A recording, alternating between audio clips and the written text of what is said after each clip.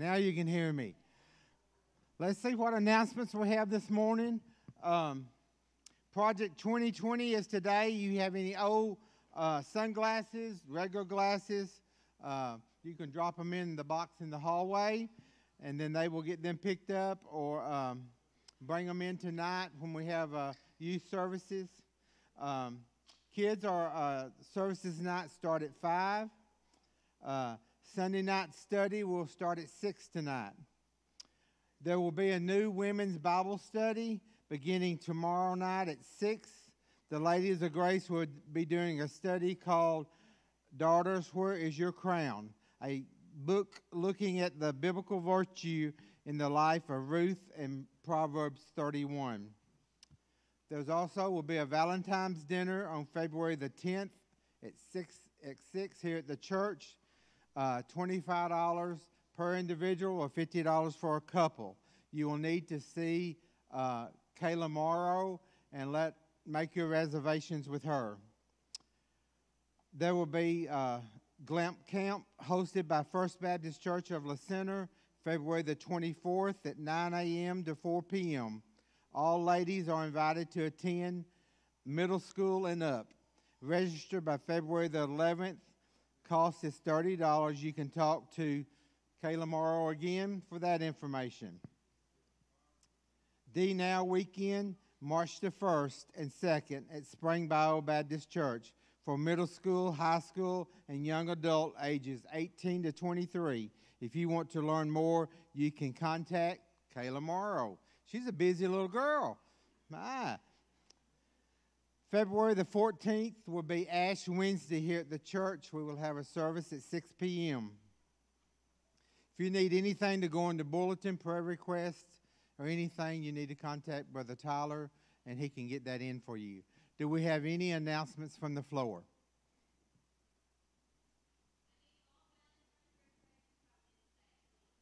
All reservations for the Valentine banquet for Wednesday, so you can contact Kayla. Any other? If not, let's go to the Lord in prayer. Father God, we come to you this morning, and Father, we give you thanks that uh, we can come out and study your word, Father.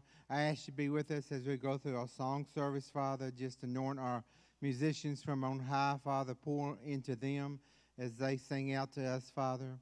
Father, I ask that you be with uh, the prayer requests, Father, you know each and every one, whether we mention them or not, Father. You know who needs healing, who needs comforting, Father. And we just ask that you wrap your loving arms around them. Now, Father, I ask you be with Brother Tyler, Father, as he brings the message, Father. Pour into him as he pour out to us, Father. And we ask it all in your precious name. Amen. Let's greet our neighbor.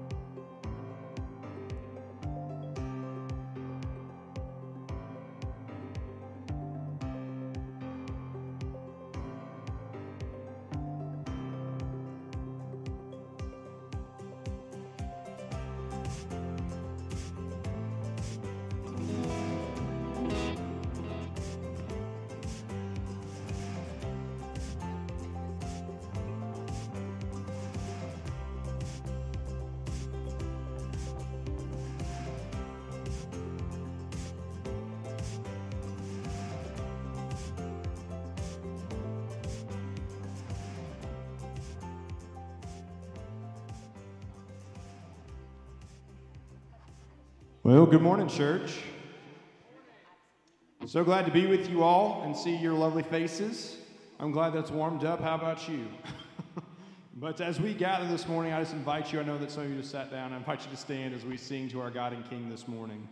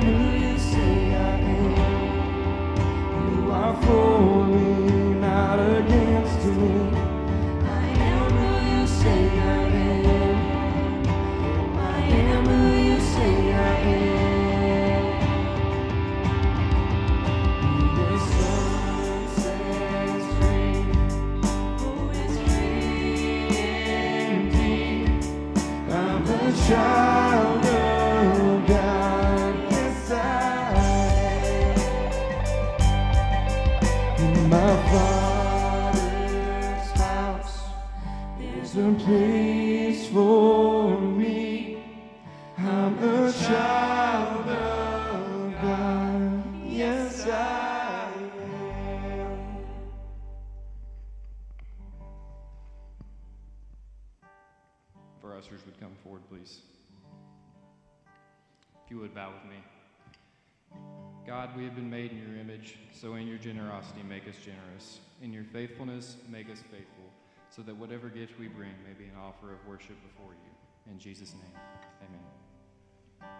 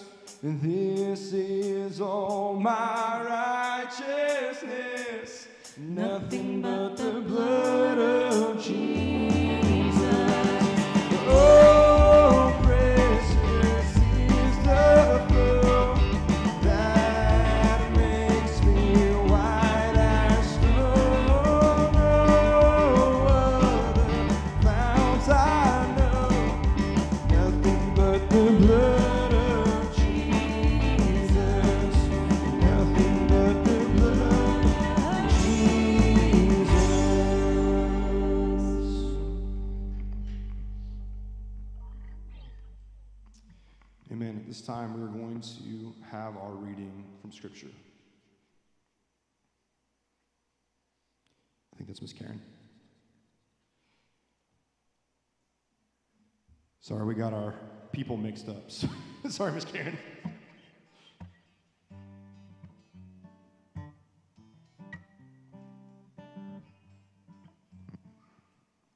Psalm 51, 10 to 17. Create in me a clean heart, O God. Renew a loyal spirit within me. Do not banish me from your presence, and don't take your Holy Spirit from me. Restore to me the joy of your salvation, and make me willing to obey you.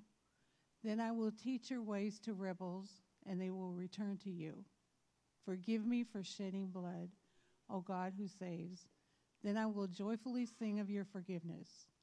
Unseal my lips, O Lord, that my mouth may praise you.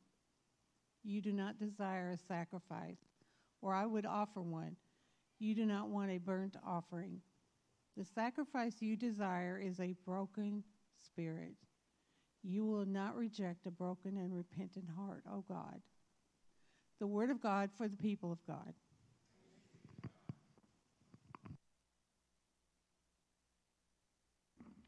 Okay, let's have our kids come down for kids' time.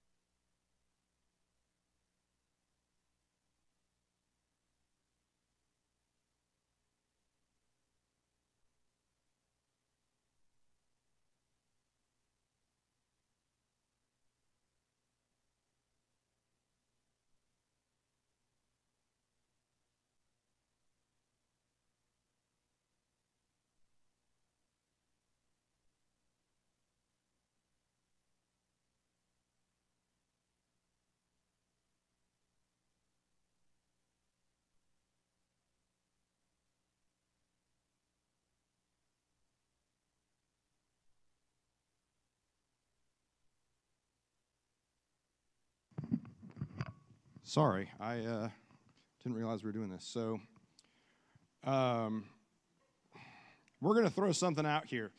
So, do you guys know a guy named Jesus? How many raise your hand if you know a guy named Jesus?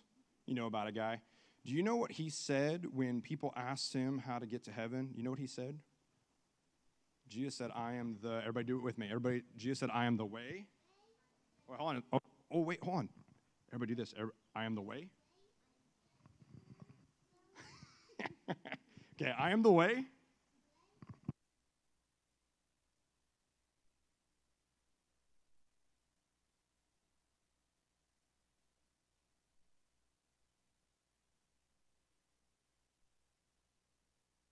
So, so Jesus made a way because you know how he made a way, guys? Do you know how Jesus made a way for us to get to, to heaven and get to the Father? Do you know how he did that? Yes, ma'am.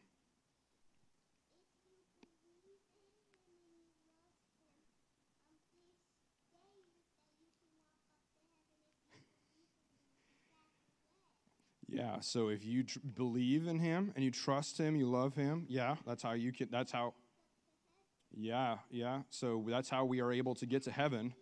But what did Jesus do? How did he show that he loved us? What did Jesus do, guys? Oh, Colin, yes, sir. He died on the cross. Why did he have to die on the cross? Why did he die on the cross? Someone other than Sophia or Colin. for our sins, right? And what is what are sins? Sins are what? Have you ever? How many of you have ever uh, not listened at school, or maybe disobeyed your parents? How many of you have ever? Have you ever told a lie? How many of you maybe taken something that didn't belong to you? Oh, so guess what? We've all sinned. We all break God's law, but Jesus says even while we were still sinners, he came to die for us because you know what? There has to be consequences for our sins, right? So if we disobey at school, there's consequences, right? There's things that happen because we we lose out, right? We get a dojo down. Yeah, you get dojos down. Yeah, right? Yeah. So but the thing is Jesus came to take our punishment, the consequence. And so he said, I am the way, the truth, and the life, and no one can come to the Father except through me. So if we trust him, we love him, we follow him, then that's how we can get to heaven and we can be with him forever. So we're going to pray real quick, and then we're going to go upstairs for Kids Church. So, Father, I thank you that you are the way, that you came and you gave your life for us, that we, um, even though we have fallen short, even though that we have sinned, you took our consequences and that you made a way. You showed us your love for us. And if we trust you, that we can be with you again one day. So I pray that these little ones would know that and see you for who you are. In Jesus' name, amen. Okay, have fun, guys.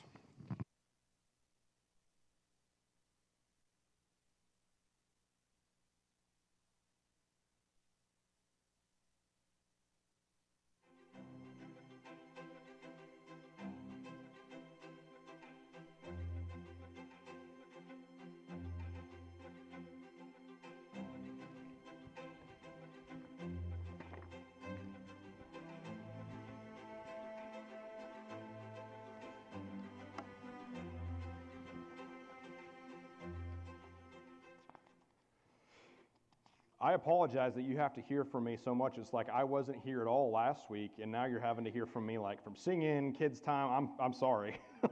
but uh, so glad to be back with you all. Um, I truly miss being with you all. I'm so glad to be back. I honestly, people have asked me how it was, and I'm like, it was good, but honestly, I feel like I needed a vacation from my vacation. So I'm glad to be back, glad to be home. There's no place like home. And so I missed you all. We got to join online, so I'm thankful that we have online. So if you're joining us online, thank you for joining us.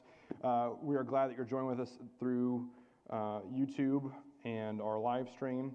So this morning, I want us, I want everybody to imagine, if you will, a setting like something out of Indiana Jones and the Raiders of the Lost Ark. Okay, there's this really famous scene where they're in the market, and all of a sudden he gets caught where there's this sword wielding like enemy of his, right? And he gets really fed up. He pulls out his pistol and just ends it right then and there. But there's a lot of commotion. It's really busy. There's this, you know, buying, selling, trading, all that stuff. So imagine that you're back in a time like that in Egypt um, in the 1930s, right? And someone offered to sell you clay jars containing really old manuscripts that hadn't been seen in 1500 years. Okay, so this antiquity dealer is trying to get you to buy this. What would you do?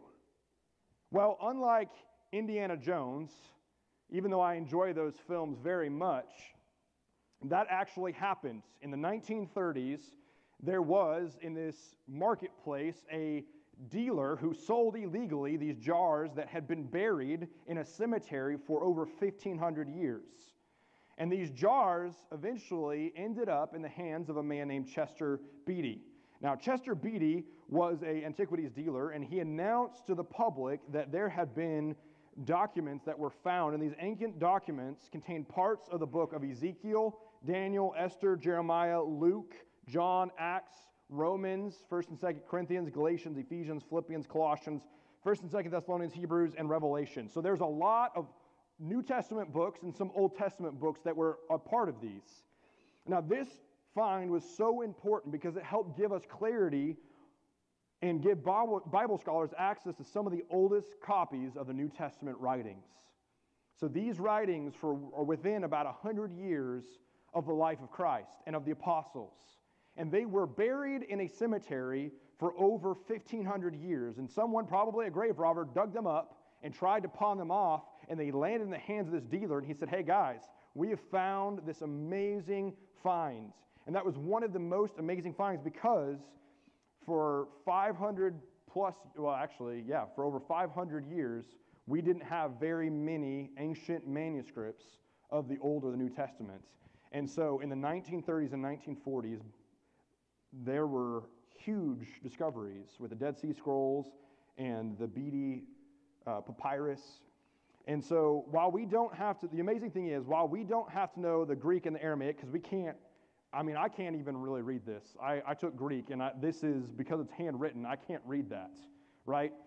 But the beautiful thing is, we don't have to know Greek or Aramaic or Hebrew to understand the words that we read in Scripture today. We don't have to risk our lives getting a copy of a smuggled Bible in our own language. We don't have to explore caves or go to graveyards to try to uncover the truth of who Christ is. So when we have the Word of God, whether it's in print or on our phone, it is a miracle in and of itself.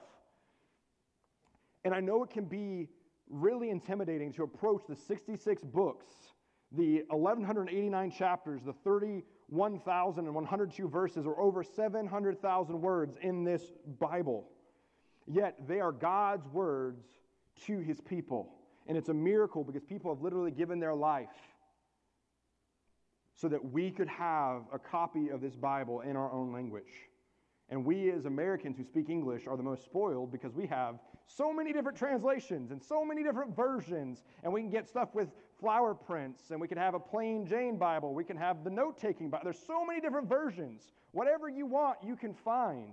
And there are people literally giving life and limb to get a copy in their own language for it to be smuggled today. And I think we take this lightly. But when we approach this, there's some really important things to remember. First, we have to pray.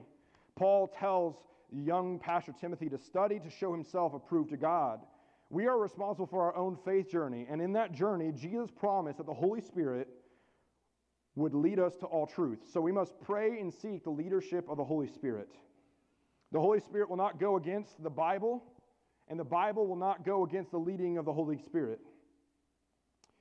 Secondly, we need to seek to understand what the writers and the Holy Spirit were trying to tell the original audience. So, who, the people that were reading these letters in the Greek and the Aramaic and the Hebrew, the, those that were listening to it in church as they gathered, what was the author and the Holy Spirit trying to say? In other words, what is the author's intended message or the aim for short, of the scripture. What is the author's intended message? Lastly, because it is written in the Bible does not mean that you should do it. Scripture is full of people of God that do terrible things. They commit violent acts. They, they sin.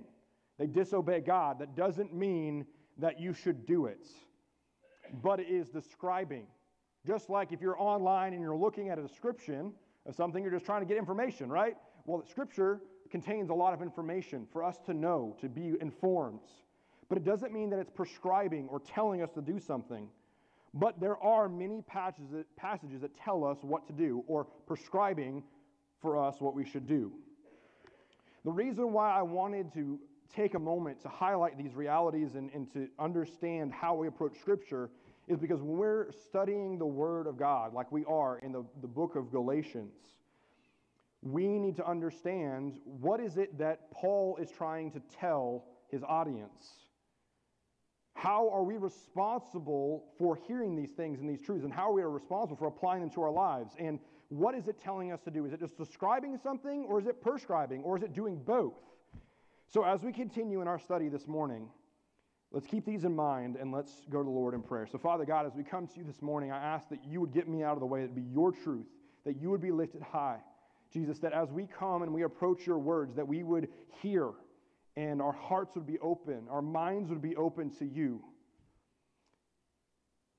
That we would decrease, that we would get out of our own way, and, and we would lay aside all the sins, all the anxiety, all the stuff that gets in our way of following you, that we would lay those things down momentarily just to hear and to be with you. So we ask that you would go before the reading of your word, that you would go before the preaching that hearts and minds will be open to you, Holy Spirit. Help us to be aware of your presence here this morning with us, here and now. And may you have freedom to move as you will. In Jesus' name, amen. So, when we approach the book of Galatians, we talked two weeks ago about Galatians and how it was written around 48 AD, making it one of the oldest books in the New Testament, if not the oldest book. And the reason why we're starting with the letters to the church and starting with Galatians, because Even the gospel accounts were written later on, they were penned later on. So this book really can help give us insight into what was happening 13 to 15 years after the ascension of Jesus. So, the big picture of this letter is trusting, either trusting and keeping the law or trusting in Christ for our salvation. So, it's the faith versus the law. There were a group of Jews who were saying to the Gentiles or people that were not Jews that in order to be right with God, they had to get circumcised. They were adding a requirement to the gospel Jesus plus a physical act to make them right. Paul addressed this in chapter 2, but for clarity, what we're talking about here, this is a different gospel, and that's what Paul says. And he said, Let them be cut off or let them be cursed. This is a different gospel. And anyone delivering a dis- different gospel, this is what the definition is here, using very strong language. He said, They are without hope of being redeemed, a person or thing doomed to destruction. So, what he's saying here is if you preach a different gospel or believe a different gospel, you don't have any hope because the only hope is Christ and his reality, his gospel, his truth. So, don't add to or take away from it.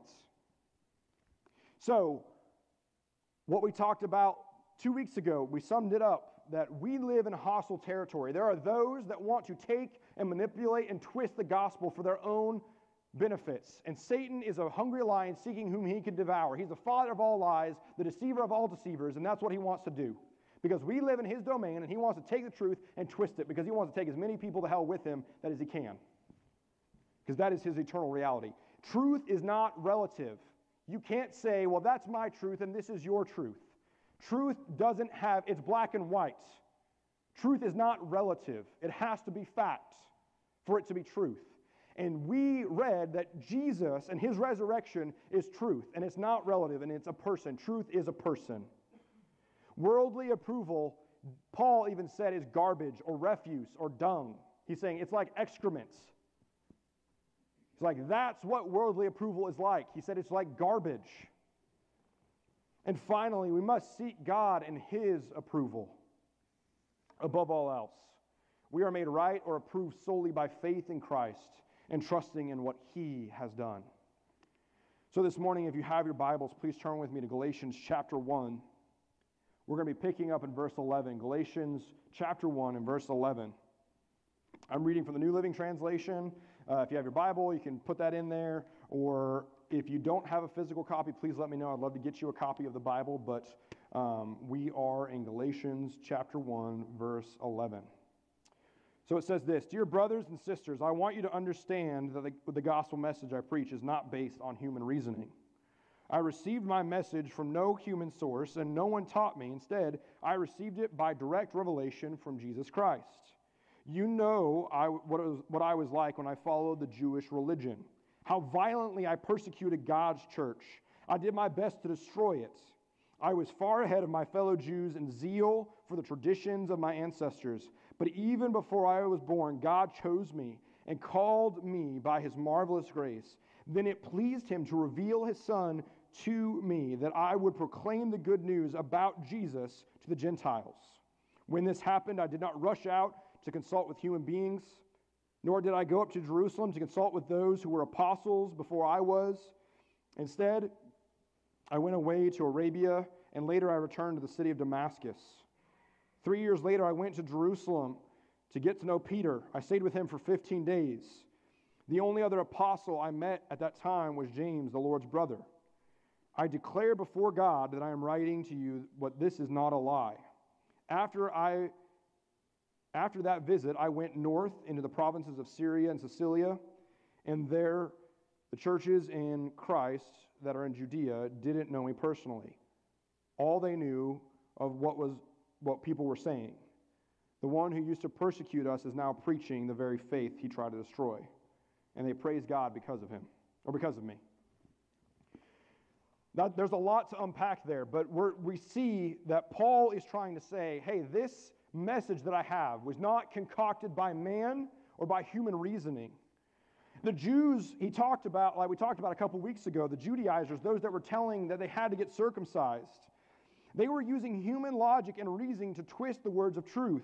They sought to prove that they were right with God by being faithful to the Old Testament laws. Moses and Abraham were the prophets that they looked to. You know, the thing is, young Jewish boys were raised in temple. And in temple, what they would do is they would spend the first 13 years of their life memorizing and studying the Torah, the first five books of the Bible Genesis, Exodus, Leviticus, Numbers, and Deuteronomy. And those books contain history, law, and how God related to his people. And so, if they were really proficient, if they were really, really good with the Torah and they understood, they would go on to be rabbis potentially or teachers of the Torah.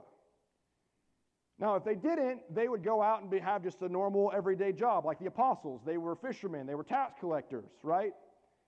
Some were doctors. They had jobs. But they still had that foundational education for the first 13 years of their life in the Torah. They literally would sing it and read it and memorize it so where they could speak it aloud and quote it verse by verse. And they thought, because they knew the Torah, they knew God's laws, that by obeying the law, that they were right with God. So the Jews coming into the church, they're saying, hey, we are the chosen people of God. God made a promise with Abraham, our ancestor.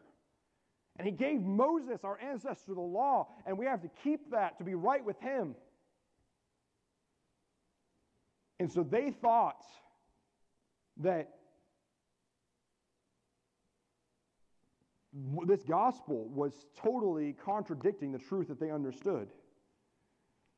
So this guy, Paul, he was trying to say, hey, if anybody's a good Jew, I'm the best of the best. He's like, I, he said, I persecuted the church.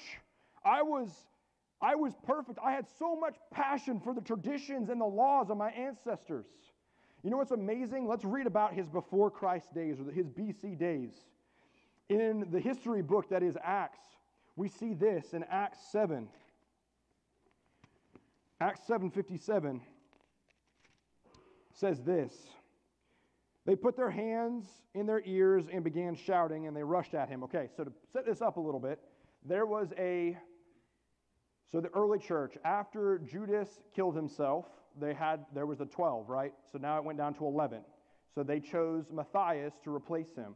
Now the apostles were busy teaching and preaching, but the church was growing so quickly that they couldn't do everything that they were, that they were being asked to do. Literally, on the day of Pentecost, 3,000 people were added to the church. So if you literally go from like 200 to 3,000 overnight, that's pretty crazy, right? And so these 12 guys are like, we can't do it all. We're trying to teach and disciple and try to meet with people and pray with them. So they said, we're going to appoint deacons or servants to help us oversee how we manage the money and making sure people are visited and taken care of. And so they appoint seven deacons. And one of those men, his name was Stephen. And he was so passionate about the truth of Christ that he was preaching and teaching. And finally, word came to the Jewish leaders, and they put him on trial. And after Stephen got done preaching, it said they put their fingers in their ears. These are the religious leaders, the Jewish leaders. They put their fingers in their ears and they rushed at him and dragged him out of the city and began to stone him. Now, what's interesting is this was illegal because you know who was in charge? The Romans. The Romans were in charge. Now, they, the Jews could put their people on trial, but ultimately, to commit capital punishment, had to go through their proper channels. But they were so angry at Stephen that they dragged him out and stoned him illegally. So they killed him illegally.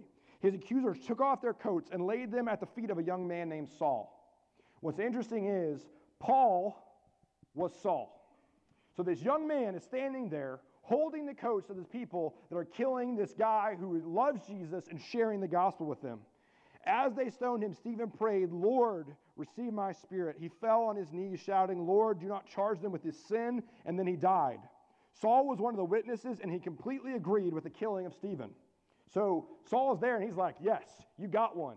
You got another one down. We're doing good. We're getting, we're, we're going against the church. We're killing them. I'm so glad we're doing that. And then a great wave of persecution began that day, sweeping over the church in Jerusalem. And all the believers, except the apostles, were scattered through the region of Judea and Samaria. Some devout men came and buried Stephen with great mourning, but Saul was going everywhere to destroy the church. He went from house to house, dragging both men and women to throw them into prison. So you see how violently he was against the church. He literally was foaming at the mouth. Okay, this, the way he had so much hate, the writer here, Luke, when he's writing about Paul or Saul and his anger towards the church, he equates it to a ravenous animal. So imagine like a hungry wolf, right? Wanting to devour its prey, foaming at the mouth. That's how he felt about the church. He hated them so much. And he had authority from the Jewish leaders to go and arrest people, to put them in jail. And un- unfortunately, they were dragged out from their own homes, put on trial for blasphemy, and they ultimately would die because blasphemy was taken care of by capital punishment. So they were stoned to death.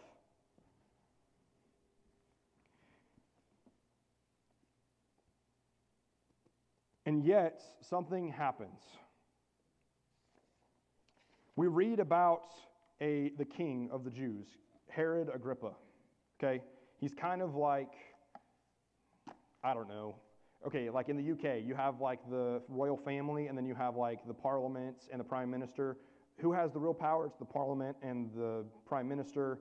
The royal family doesn't really have that power anymore, right? So the thing is, Herod Agrippa was kind of like the royal family. He, he was just kind of there. He was kind of a puppet government, but really the people that had the power were, were the Romans. And so Paul is going to stand because the thing is, if, if Herod found someone to be guilty, they'd be sent to the Romans. The Romans would say, What do you want to do? Want to kill him? Okay, go ahead and kill him. And basically, the Romans would give them approval, but they have the authority. So Paul is standing before King Agrippa, this puppet leader. And he's being on trial because, again, he's preaching the gospel and he's being accused of blasphemy. So he's standing before the Jewish leader.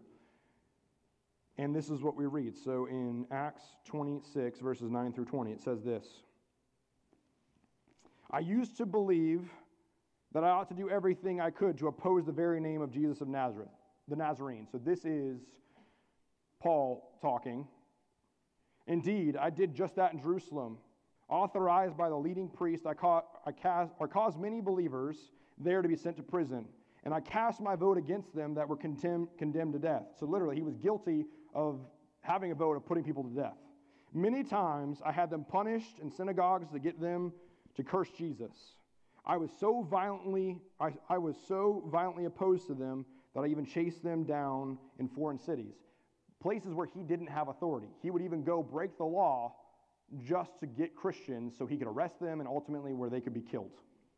One day, I was on such a mission to appoint you as my servant and witness. Tell people that you have seen me and tell them that I will show you in the fu- what I will show you in the future.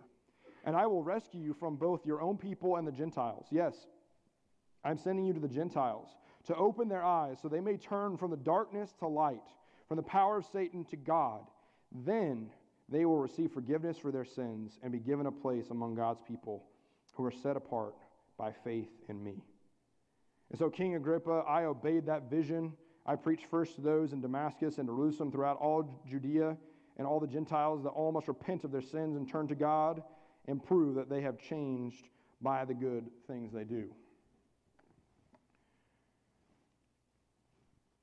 So Paul's claims to be the best of, of, the best among the Jews were legitimate.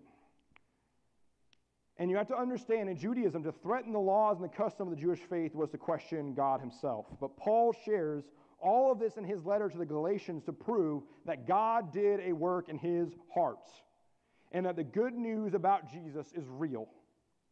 Like we discussed two weeks ago, Jesus didn't come to throw out the laws of Moses, the 613 laws, but he came to fulfill them because no human person could check off every single box for every 613 of those laws. That's part of the reason why the good news is so good because we're free. We don't have to obey the law anymore. And we're free from the bondage and the slavery of sin in our lives. Paul went from looking for the approval of the Jewish leaders to seeking approval only from God. And That is why he said that worldly approval is like garbage. Paul faithfully carried out the mission of God and called that God entrusted to him. And along the way, he met Peter, who was an apostle, and he was the one that was sent to preach the gospel to the Jews. And James, the very brother of Jesus, who was the leader of the church in Jerusalem, who was ultimately killed for his faith.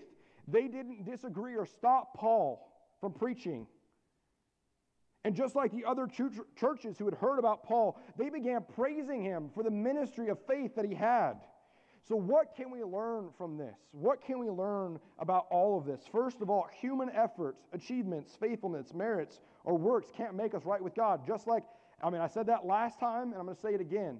There is nothing, Scripture multiple times talks about how human efforts and our own goodness cannot make us right with God. And that's what Paul tried to do before he became a Christian, before Christ got to him. And that's what the Jews were trying to do when they came into the church, telling them they had to add something to make sure they were right with God. Isaiah 64 6, the prophet says this We are all infected and impure with sin. When we display our righteous deeds, they are nothing but filthy rags. Let that sink in. On our best day, we are good for nothing when it comes to our own good merits and our own good deeds. So, if we had to do all the best, if we were the best person in the world, and we came before God and said, Hey, look, I was such a good person, He's like, Yeah, that was filthy rags. That, I'm sorry, it's filthy rags. It doesn't cut it. So, we can't get to God on our own. That's why Jesus came to us. Secondly, we're all responsible for our own faith journey, and we must pray and seek the leadership of the Holy Spirit. Galatians 1 15 and 16, Paul said, Even before I was born, God chose me and called me by his marvelous grace. Then it pleased him to reveal his Son to me so that I would proclaim the good news about Jesus to the Gentiles. When this happened, I did not rush to consult with human beings. So again, there he's saying, I'm not looking for human approval or authority. I'm trusting in Christ. It was his own journey with God. But secondly, other translations will say, then it pleased, I'm getting ahead of myself. But we're responsible for our own faith journey, and we must seek the leadership of the Holy Spirit. So that's what Paul was doing. Okay, he didn't go out and rush to the apostles. He met them three years later. He was seeking to be obedient to the Holy Spirit in his life. And so we must do the same. Now, Two things to note here. This doesn't mean that we shouldn't li- listen to biblical preaching or teaching or seek godly counsel, because Scripture does say we should seek godly counsel. But we are responsible for our own journey in our relationship with the Lord. So sometimes the Lord will lead us to others who can pray with us, for us, can encourage us, help us in our walk with God. So we need that. But remember, first and foremost, I'm not responsible for your faith journey. Your neighbor is not responsible for your faith journey. Your spouse is not. Your parents are not. You alone are responsible for your relationship with God. And not all of us are chosen by God to have ministries like Paul, but God has chosen for every single person to come to Christ to be transformed like Paul. So you may not have the ministry of Paul. God has not maybe chosen you to be a Paul to this generation, but he has chosen that he would transform you just like he did Paul. It's pretty amazing because the, the transformation that happened in the life of Paul is phenomenal. This leads me to my next point. The gospel or good news is not just to get out of hell free pass, but it's a whole life change. Scot McKnight says this the gospel doesn't work for spectators. You have to participate for it to work its powers. What this means is that the gospel is the whole life story, or, or the whole life Jesus story, is a whole life of Jesus story. In other words, you can't just come to church, go home, and then come back the next Sunday. You can't just say that you're a Christian and not live it out. You can't just spectate. You can't just sit on your hands. If your faith is real, it has to be active, it has to be alive, and it has to be a part of your whole entire being. The life of Jesus should be so intertwined with your life that when people see you, they see Jesus. And that's what he's trying to say here. Paul didn't stop trying to kill and arrest Christians and become one himself. He didn't quietly accept Jesus and continue with his life. No, he was transformed from the inside out. People went from being scared to death of Paul then celebrating the transformation and the ministry and the preaching that this man had. So he went from being a persecutor to persecuted. And no one does that in their right mind unless there was something intervening in their heart and life. And the Holy Spirit did just that. As Paul wrote to the Corinthian church, he said, Anyone who belongs to Christ has become a new person. The old is gone, the new life has begun. And that's how we know that if we're truly obedient to Christ, is our life new? Have we changed? Is there a visible mark of change in our life?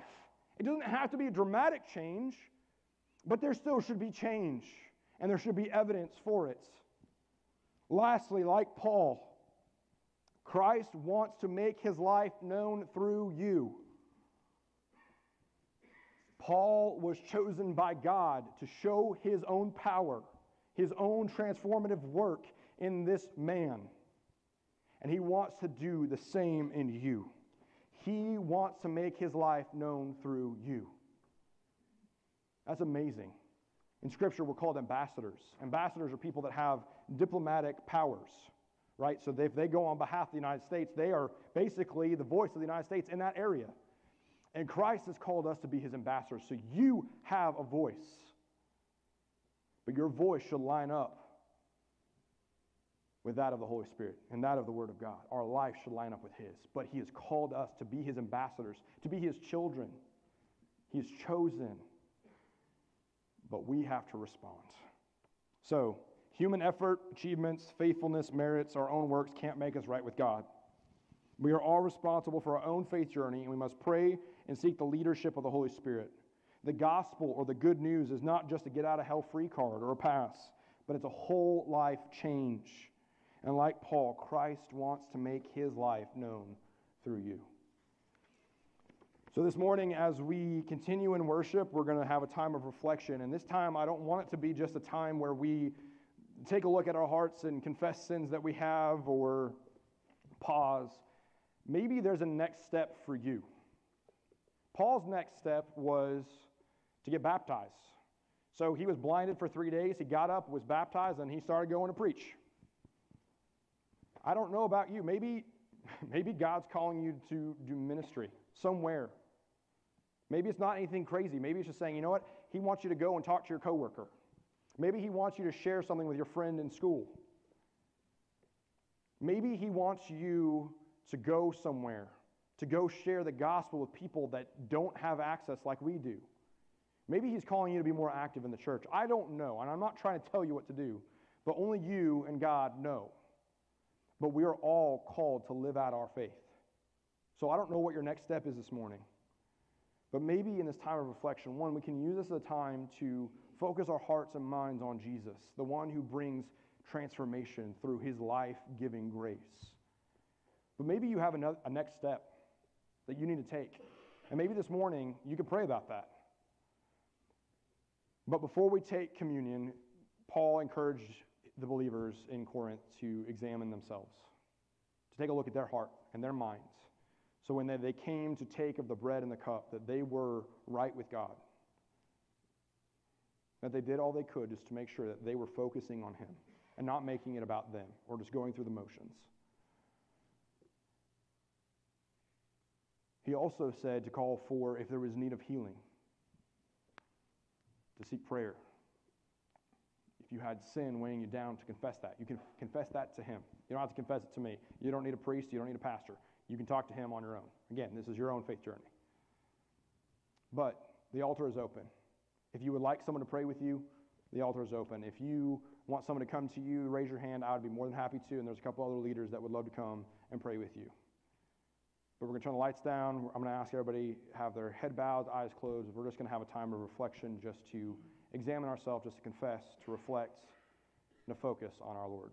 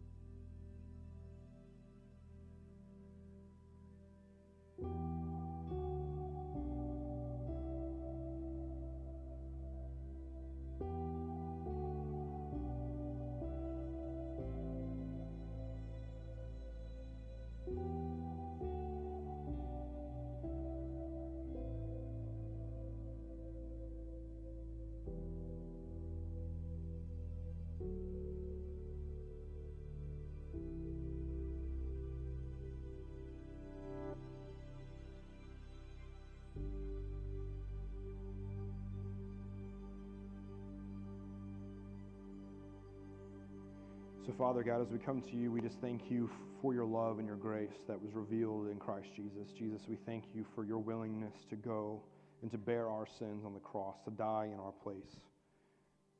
We thank you that you are now seated at the right hand of your Father, ruling and reigning, the one that stands in between us and your Father, the one who doesn't look at us guilty, but has given us new life and forgiveness because of your sacrifice.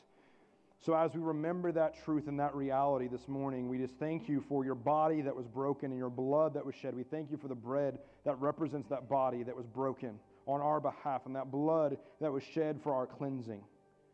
So, as we come this morning, may our hearts and minds be excited and hopeful because you have risen and you are coming again. And that you have broken the power of death and sin and hell in our lives. So we love you, and as we continue in worship, may you be glorified in Jesus' name. Amen. I'm going to ask our ushers to come forward.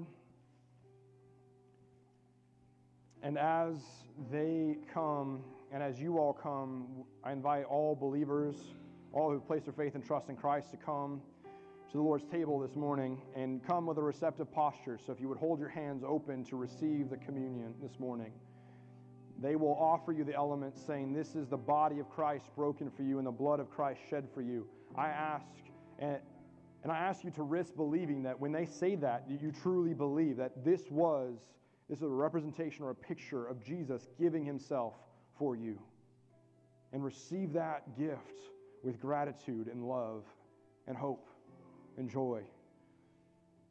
But as you come, I invite you to stand, to exit the outside of your rows, return back through the middle aisle, and just to come in a posture of worship and reverence, but also in celebration and joy.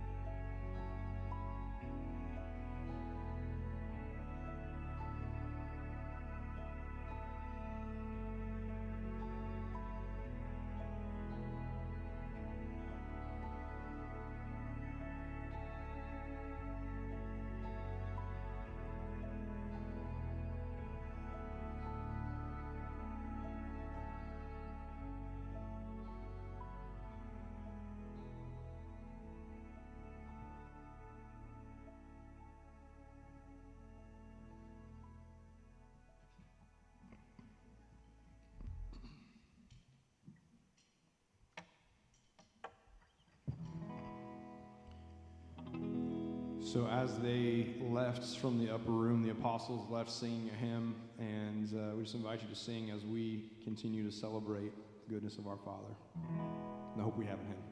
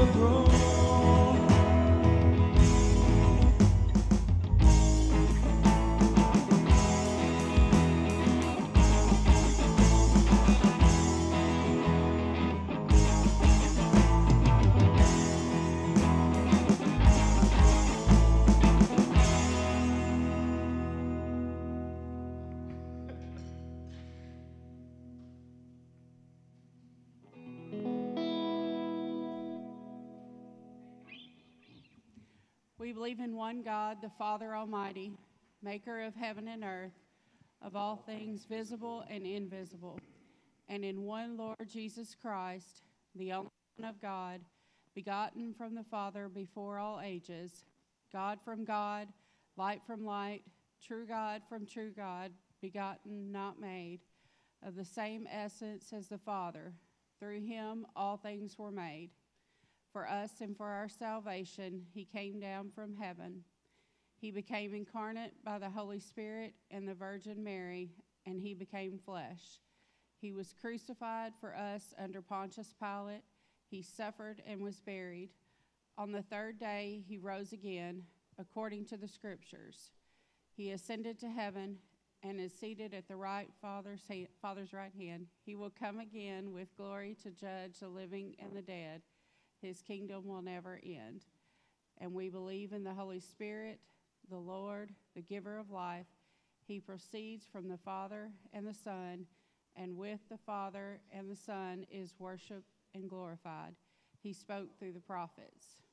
We believe in one Lord, one faith, and one baptism. We believe in one holy universal church. We look forward to the resurrection of the dead and to life in the world to come. Amen.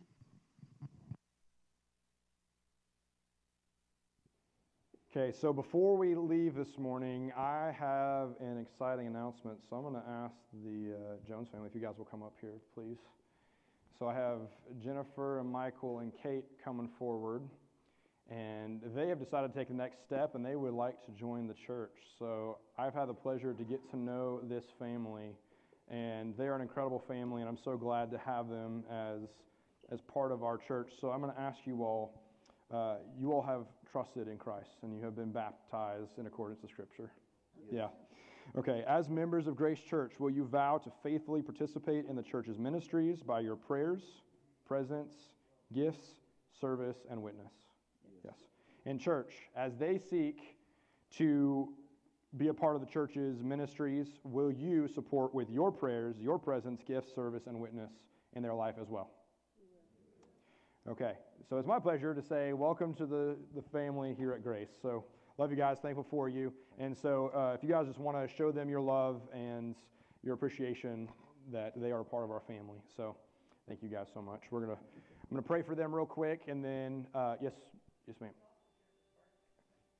Oh, I, my goodness, I didn't realize that. Well, happy birthday. So, if you want to say happy birthday to her too, um, happy birthday. And so, we will uh, pray for them and then we will get ready to dismiss. But Father God, I thank you for this family. I thank you for their witness and just their desire to come and take the next step of faith. So I ask that as they have partnered with this church and they said we want to be part of this family, that we would support them as they are trying to walk with you. And as we are all trying to walk with you, may they support us too. So we just ask that you go before them and uh, just please remind them that you are with them every step of the way. We love you and we thank you for them. In Jesus' name, amen. Thank you, guys.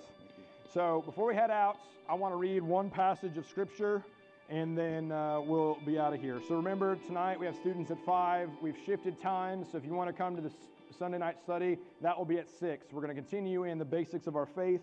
Um, but I want you, again, from what Paul said in Galatians 1, he said, May God the Father of our Lord Jesus Christ give you grace and peace.